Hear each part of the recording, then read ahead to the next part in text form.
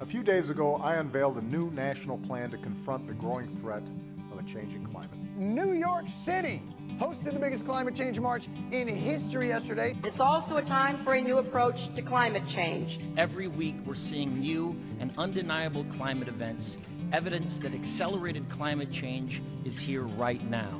You know, climate change seems like a really big deal. Global temperatures are rising, heat waves are becoming more common, sea surface temperatures are also rising. That the Earth is getting warmer faster than it's ever gotten before.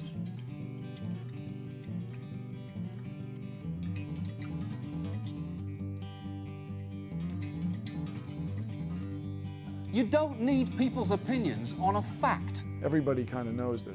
None of this is rhetoric, and none of it is hysteria. It is fact.